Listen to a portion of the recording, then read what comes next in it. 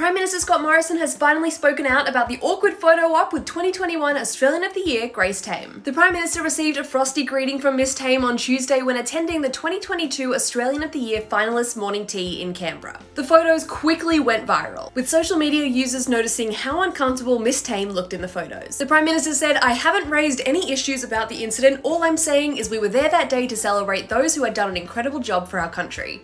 Grace is a passionate person who's raised important issues. And I know a lot of Australians, me included, support her efforts to ensure that these issues can be raised and addressed.